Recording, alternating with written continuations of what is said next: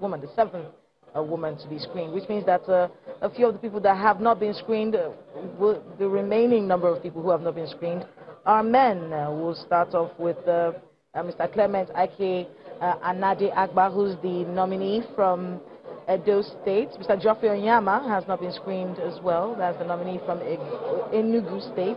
Uh, from Kano, uh, Mr. Sabo Nanono has not been screened either. Mr. Lai Mohammed uh, from Kwara State has not been screened as well. And Engineer Saleh Mamman from Taraba State.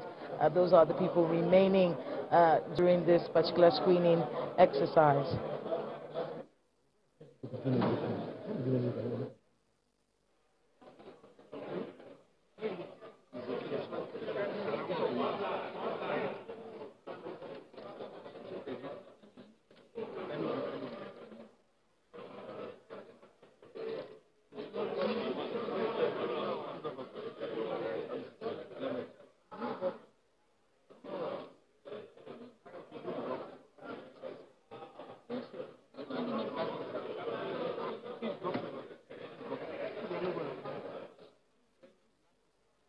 And now we have another nominee to be screened by the Ninth Senate, uh, Prince Clement Ikanade Agba, uh, who has 30 plus years of work experience, 25 of which have been in the oil and gas industry. Eight years in between spent uh, on, on leave of absence working for the state government. But we will be listening to the questions that will be asked uh, Prince Clement Ikanade Agba and what answers he will be giving uh, to those questions shortly.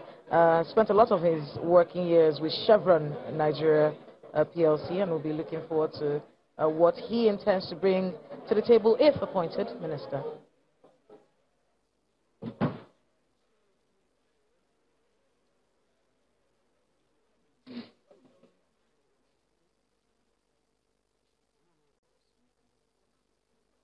Distinguished colleagues, the next nominee is Prince Clement Ikanade Agba, the nominee from Edo State. Prince, you are welcome to the Senate chamber, and we have your CV that you can still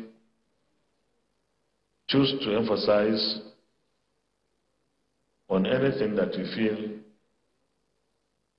the Senate needs to take note, and you can equally speak to anything that you might have omitted from your CV. You can speak to the Senate.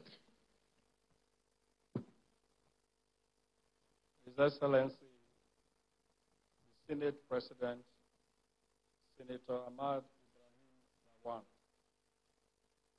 His Excellency, Deputy Senate President, Senator Ovie Omo Agege, the principal officers of the Senate,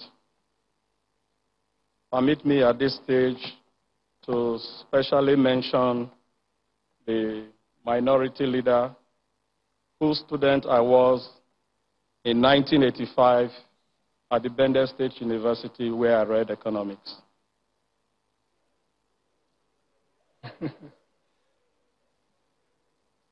distinguished senators of the Federal Republic of Nigeria, my own senator, Senator Francis Alimikhena, representing Edo North, my fellow alumnus of the Bendel State University, a friend and a brother, Senator Clifford Ordia, representing Edo Central,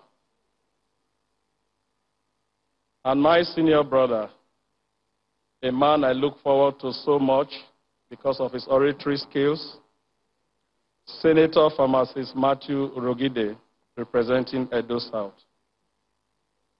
It is my honor and my privilege to stand here before you to be screened as a nominee for ministerial appointment into the federal cabinet of our country. Let me use this opportunity to express my profound gratitude to President Muhammadu Buhari, GCFR, who has singled me out and found me worthy to be in his cabinet. I had the singular opportunity of meeting Mr. President on November 8, 2016, when he visited Edo State to commission some projects. My governor then, Comrade Adams Aliyu Oshiomhole, gave me the opportunity to take Mr. President through two projects of mine. One was the Queen Ede Gully erosion site in Benin, right inside Benin City, a gully that had consumed a public school and was about consuming a Catholic school, a Catholic church. The other was the commissioning of Siluko Road in a flood basin that had defied solution for over 30 years in an area popularly called the Teacher's House area in Benin City.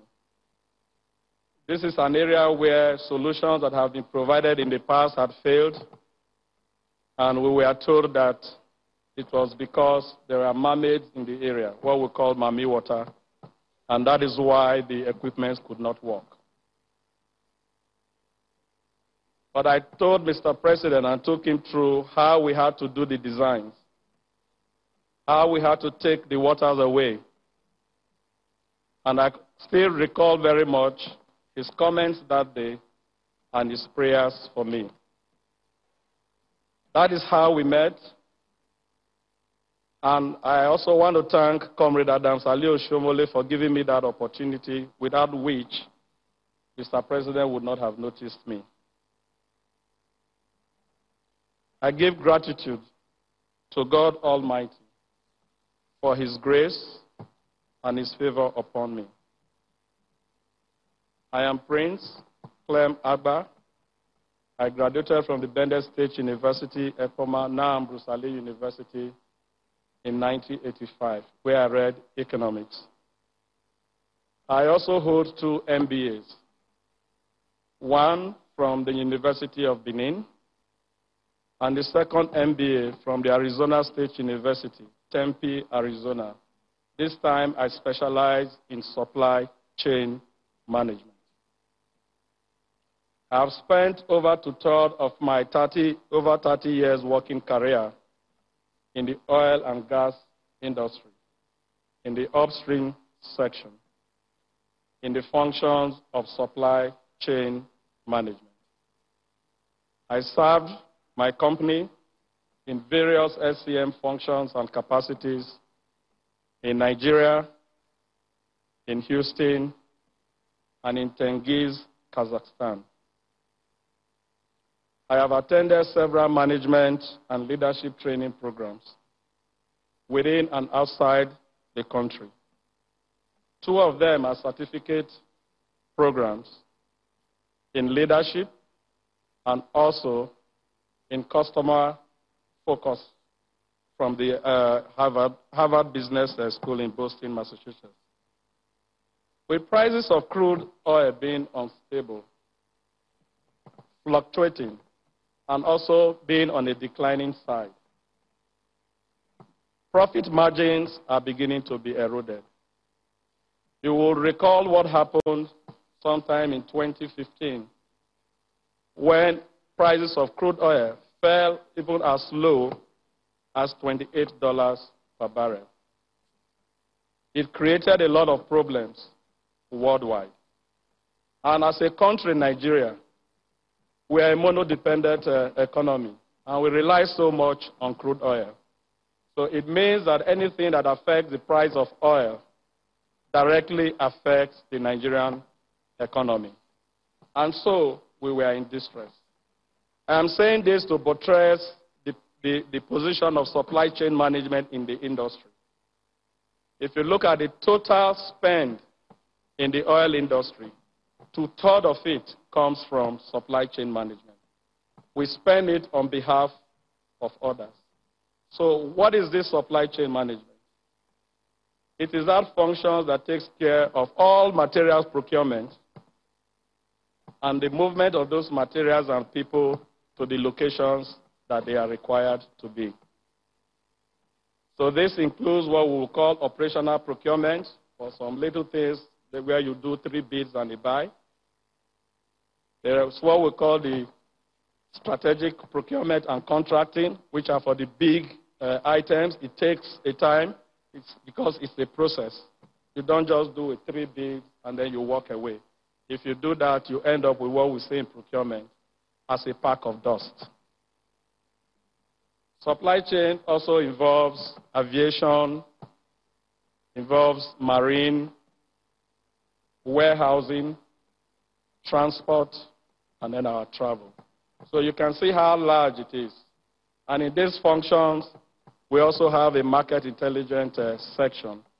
These are the people who look at prices of commodities across the world, prices of the materials, and feed those of us in the office with this information so that we can do our analysis that we use in putting contracts in place.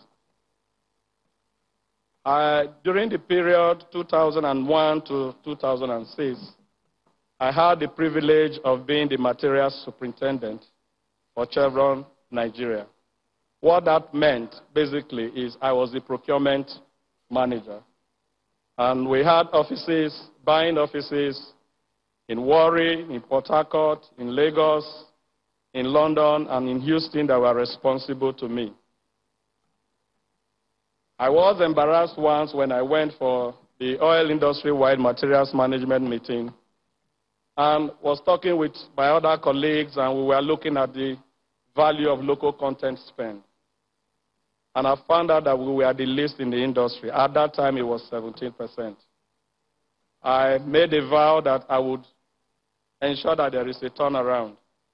And by the time I left in 2006 for Kazakhstan, we had grown the value of spend from 17% to 93%. Today, our local content spend is 100%. I'm glad we have uh, Senator Stella Oduah here. I am sure she can testify to this. She was a major player, and uh, as procurement manager, I had a lot of uh, dealings with her around some of contracts. You can round up. On my, on my return to Chevron in 2016, I was charged to do a value streaming uh, uh, mapping. This is with a view to looking at how to reduce our costs and optimize our operations in a very challenging uh, sector. I am a process-driven person. I do not just base my solutions on immediate costs. I do a deep dive to understand the root cause of the issues before offering solutions. In other words, we do not just throw money at a problem. I am passionate about what I do wherever I find myself. I am committed to positive change and development of my fatherland. This mentality was brought to bear on my work during my about eight years as commissioner in Edo State, where I was commissioner for environment and public utilities, and I was also commissioner for land survey and housing for a few months. Permit me, Mr. President, sir, to speak through some of the things and challenges I met Try, try to round off so that people can ask you questions. Yes.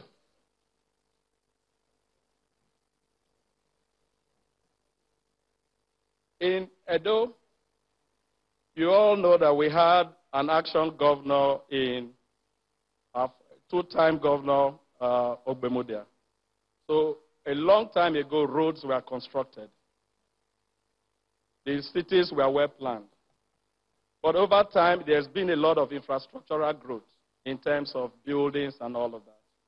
But since he left, no other government concentrated on building primary drains.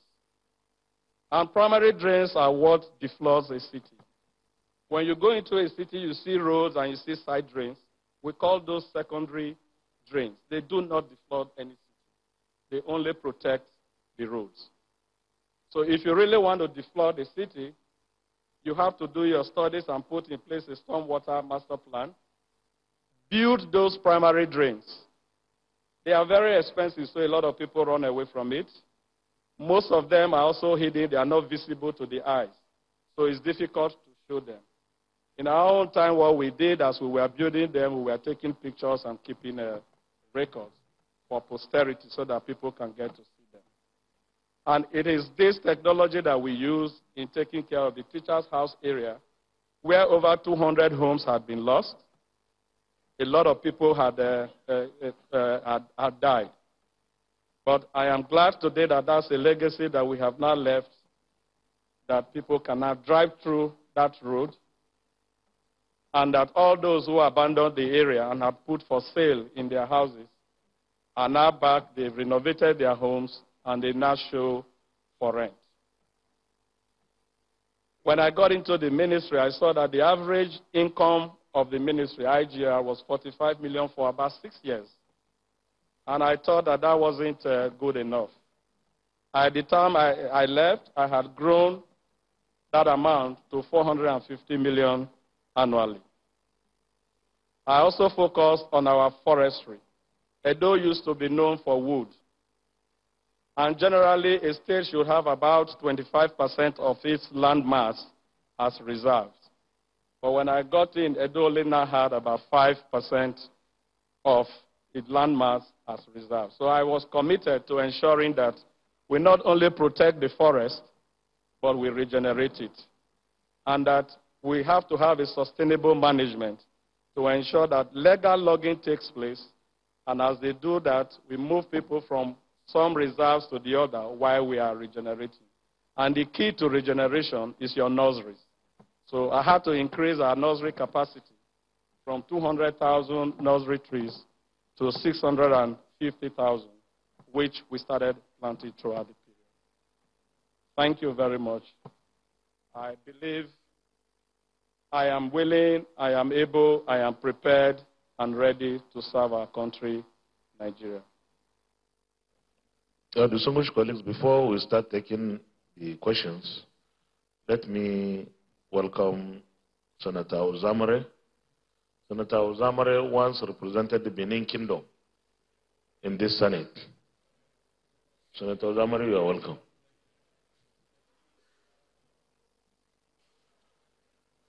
Senator Yusuf Abubakar Yusuf.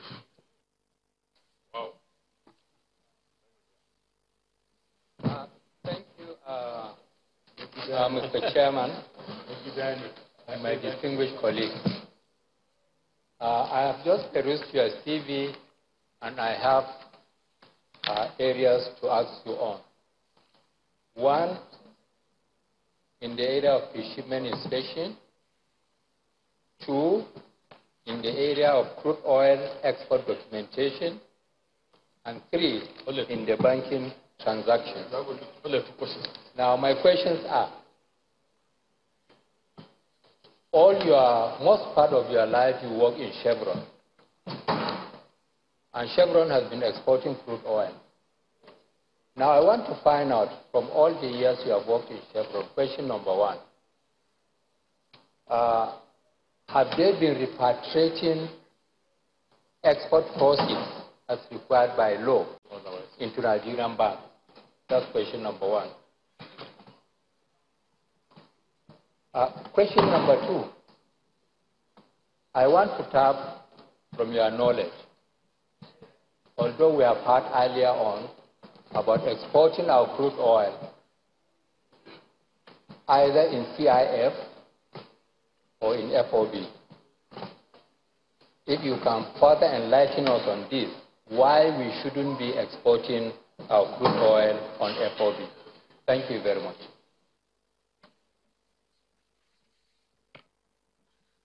Senator Lawrence Ewhrudjakpo.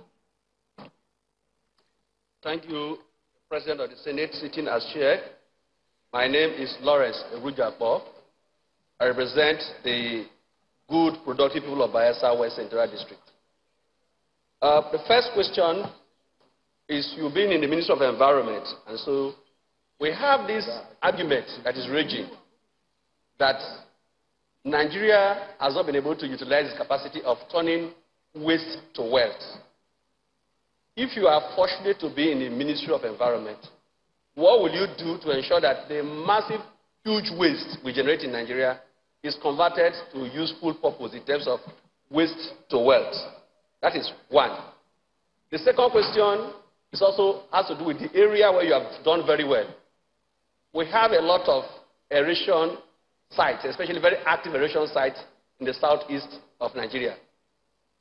What would be your recommendation in terms of solving this problem of erosion, especially in the maybe majority of the old eastern region, what we call classified the eastern region, comprising part of uh, uh, Delta Edo, and then majority of uh, South South, especially the area between uh, Cross Rivers and uh, Akwa Ibom State. What will you do to ameliorate the issues of this erosion? Thank you. Senator Ifeanyi Ubah.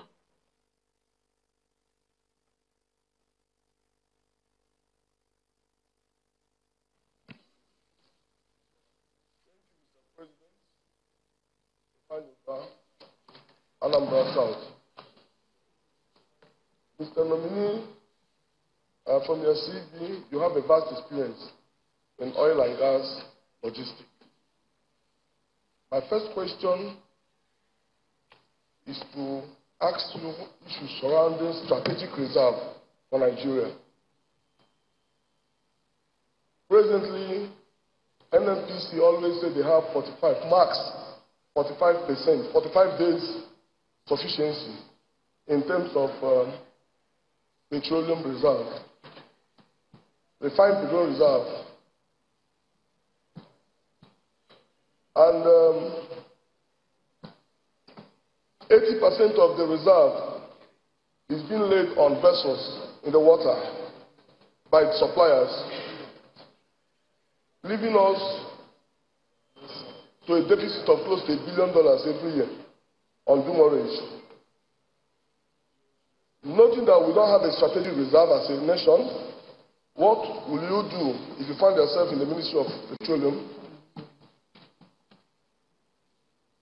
to plumb these leakages in terms of ship-to-ship supply, strategic national reserve, and uh, secondly, we are also losing a lot of money when we lift petroleum, petroleum products through equalization um, PEF. Taking products from, for example, from Lagos to Onisha, the inefficiency in PEF, Petroleum Ecological Fund, to site a depot, strategic depots in strategic locations in the country. For example, if you have a product going to a station, a filling station in Onisha, you have to take that product to Enugu depot in order to register the product. And then you have to also drive the product back to Onisha, taking you a journey of close to 40 kilometers. And by so doing, you may be coming back from Enugu and you may lose your product. I think this is inefficiency in management. So if you find yourself in Ministry of Petroleum, what will you do to ameliorate this and then plug these leakages? Thank you.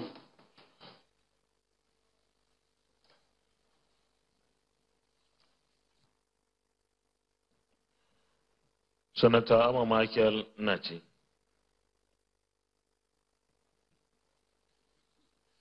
Thank you, Mr. Chairman. Thank you, distinguished colleagues. Uh, Mr. Nominee, I am highly attract, um, attracted to your skills. You know, contract management, procurement management, and heavy engineering management. Looking at your core profession as economist, I've looked at all these your skills. This present time that Nigeria is talking about wastages from procurement officers, including engineers, quantity surveyors, and others. I looked at it, now you are coming to the Federal Executive Council, that's the executive. and coming from private sector, which is a very heavy organization like Chevron.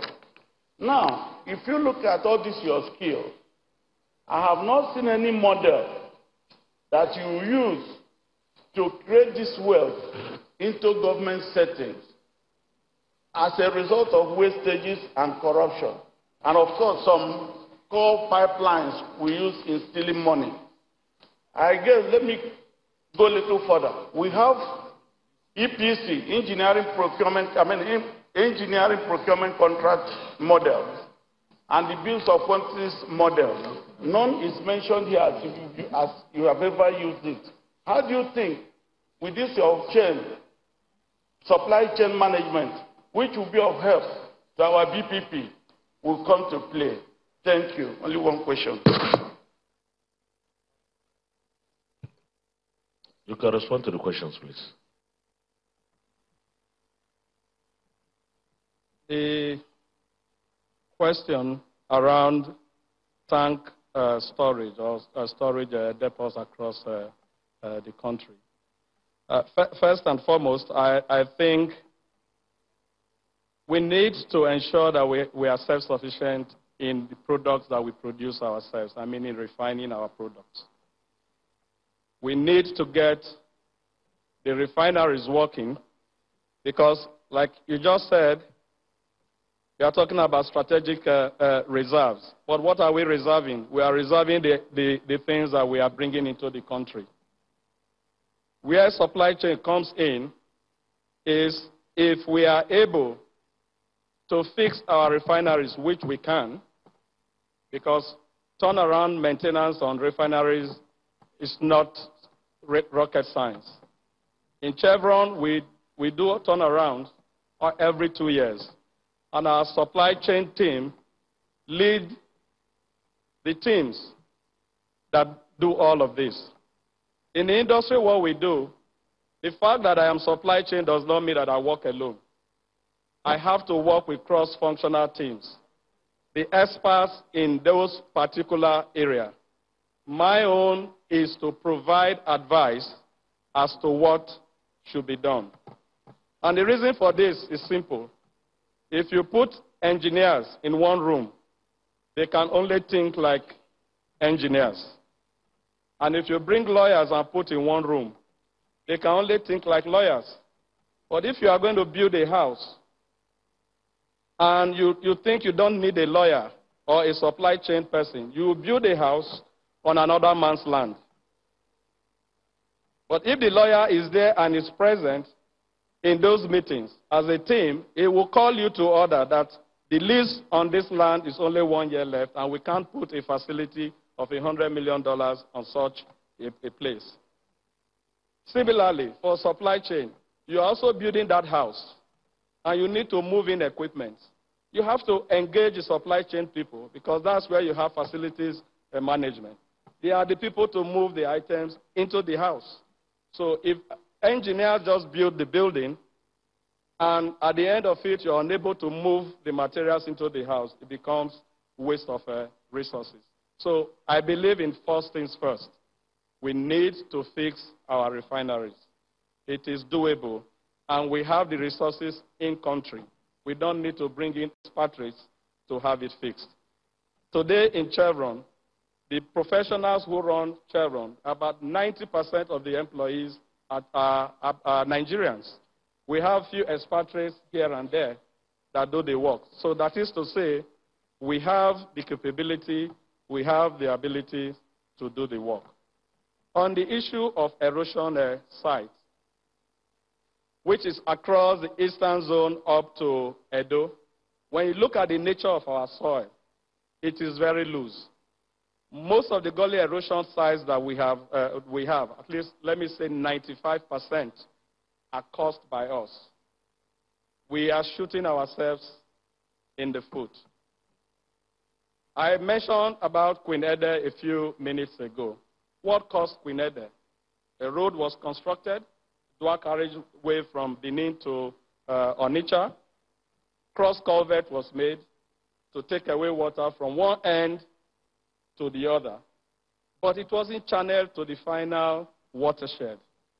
And this is because we are looking at what people call cost, but it's actually price.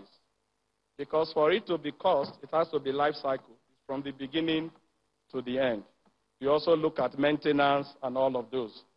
So over the years, that gully developed. Gullies or erosion, they are very ungrateful to their benefactor. What do I mean by this? Build your house, channel water out. You will see you will have a gully. As water keeps flowing, a gully will develop and it will come towards you. You are the benefactor providing the water, but it will consume you. So we need to have a lot of change of attitude. You know, people need to be enlightened so that they understand how these gullies are created. Once we do that, we will spend less money in maintenance or trying to reclaim these gully sites. For waste to wet, again, it's another issue that is behavioral. It has to do with us. At the moment, all our wastes are commingled. They are not segregated. And so because they are not segregated, it creates a lot of problem to turn them from waste to wet. If you keep biodegradable materials in one uh, waste bin, those biodegradable materials can be used for fertilizer. You can also use those uh, biodegradable materials to produce energy. But when you mix biodegradable with plastics and medical waste, it becomes difficult to use them. So, plastics have to go in a plastic waste bin. Papers have to go in a paper waste bin. The medical waste needs to go in a medical waste bin so that they can be incinerated. And then the biodegradable on its own. And this starts from the home, from the house, our individual homes. Once we do that, then it becomes easy and less expensive to create wealth from, from waste. The issue around export uh, process uh, repatriation is not an area for me in supply chain management. What you have on my CV is a crude export documentation with customs which was my first job in 1990 when I joined uh, Chevron.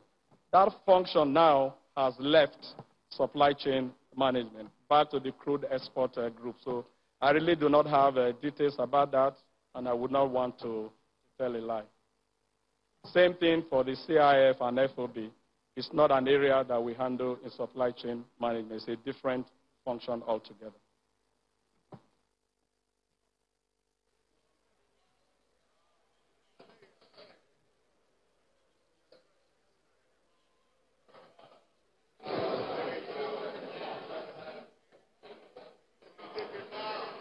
Okay. All right. Before, before, before he takes a bow, let me invite Senator Francis Alimikhena, Senator Matthew Urhoghide, and Senator Clifford Ordia, in that order. Please be brief. Brief. Thank you, Mr. President, City of Chair, and the distinguished colleagues. My name is Senator Francis Alimik, and I represent the good people of Edo North. Mr. President, I know the nominee very well. First and foremost, let me thank the President, the Commander-in-Chief of the Armed Forces, for nominating my, one of my constituents. So far, the first so far since 1999. My constituent, the people of my constituent are very happy for the nomination. It is pertinent to say that the Edo State Caucus in the Senate approved this nomination. This nominee standing is a fit and proper person to so nominated. He has a good credentials. You could see the flow from his mouth. And he worked very, yeah. So he, he worked very well as a commissioner in Edo State. And uh, he will bring that weight of experience to the national level and is going to be a value added to the cabinet of the, Mr. President. My distinguished colleagues, I want you to support this nomination and to allow him to take a bow and leave. Thank you, Mr. President. Senator Matthew Urhoghide. Thank you, Mr. President. Sitting on the chair, I'm Senator Matthew Urhoghide, Edo South. Mr. Chairman, my distinguished colleagues, I don't think I can thank this Senate enough. Like I said the other day when we were talking about the other nominee from our state, I said the tenacity with which, of course, this Senate has handled this confirmation exercise. I think I'm thrilled by it, and I cannot thank Mr. Chair too much. But more importantly, on behalf two of our caucus, the Edo caucus in the Senate, we want to immensely thank Mr. President for nominating these two persons. Mr. Prince Clement Agba is one of those discoveries that we found in the government of Comrade Adams Oshiomhole. Mr. Chairman, you recall that we came to tell you that for the very first time, across party lines, we have shown interest and our delight in this nomination. And this, of course, what you have you know, brought to bear in this Senate. That there is conviviality there is amity amongst we senators across party lines. Today, I stand on behalf of my other colleagues to tell the Senate that we are acting in unison over this nominee. We support him. Prince Clement Agba, all the things that he did in Edo State for eight years, all the one he had to do with urban renewal, all he had to do with environmental sanitation. And I record the remediation of over 105 active flood and gully erosion sites. You're a spectacle for all of us. So he sold himself. The only thing we will say to this Senate is to tell Prince Clement Agba to still exercise that knowledge, deal and zest to move our country. I very much believe the environment, because part of the emotions that came on this floor. Mr. Mr. Chairman, you will recall, you will recall, only last week, this issue of value erosion came up, and all the resolutions from the southeast to the south south to the southwest and to the north, we said we need urgent attention. This is the man, by the grace of God, that can help Mr. President, help the Federal Executive Council to get the remedy that we deserve. Thank you very much, and congratulations, Mr. Nominee. Thank you.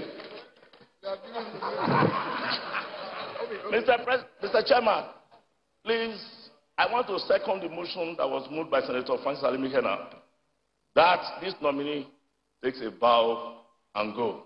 Thank you very much. Yeah, the meter. Sorry. I can see, in addition to your contribution in the Senate, you are also recommending him to Mr. President for an appointment to a portfolio. Senator Clifford Ordia. Mr. President, my very distinguished colleagues, I'm Senator Clifford Akimimona Ordia, representing Edo Central Senatorial District. Mr. President, my very distinguished colleagues, let me begin by congratulating this, uh, my very good friend, brother, Mr. Clement Agba, as the serial nominee. Let me also use this opportunity to thank Mr. President, Muhammadu Buhari, for yet sending another fine product from Edo State as Minister of the Federal Republic of Nigeria.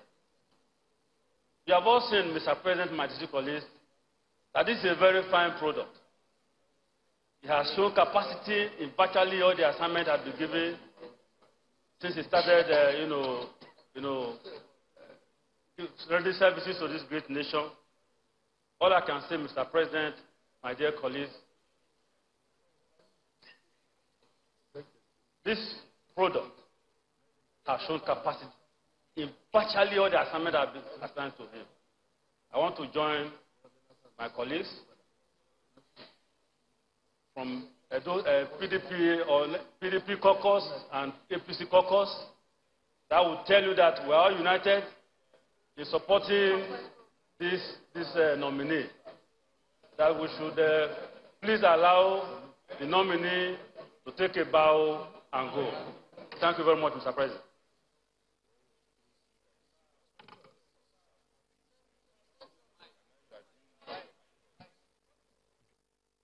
Thank you very much. I can see that both the APC and PDP caucuses in, Edo have uh, adopted the nominee.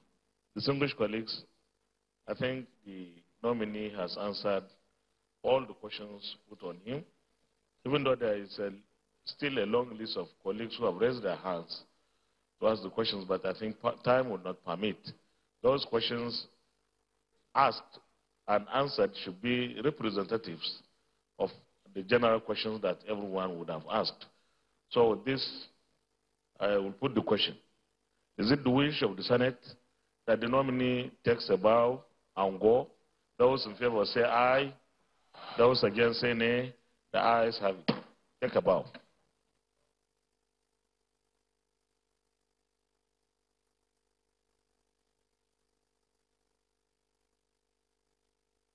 And Prince Clement Ikanade Agba takes a bow, making his way across the Red Chamber and now taking his time to walk out of the Red Chamber. Of course, a very uh, interesting screening session for uh, Prince Clement Ikanade Agba spent most of his work uh, work years at Chevron Nigeria Limited and the Edo State Government House uh, as a commissioner. Uh, along uh, with um, a lot of his uh, work experience, he had a lot of accomplishments, especially in the Edo State government, the setting up of the Edo State Geographic Information Center, creation of an updated Benin City Storm Water Master Plan, which was the first in 30 years according to reports. Also set up the lead, uh, he led rather the Edo State New Map project and of course increased ministerial internal generated revenue uh, from 45 million naira to 450 million naira per annum, which is an increase of about 888%. Also secured the World Bank funding for the Edo New Map initiative, led the Edo Urban Renewal Program, and um, reclaimed Queen Ede Gully Erosion Benin, also reclaimed the Oshobugi Gully erosion in Aochi, Auchi rather, uh, reclaimed the Ekwenwa Gully erosion in Benin, and fixed the 25-year flooding problem of Five Junction in Benin City. Also redesigned the King Square in Benin City. So uh, a lot of uh, a lot of successes and accomplishments uh, attributed to uh, this particular nominee. Remember, there is no word on what portfolio he will be handling, uh, but a very interesting set of questions.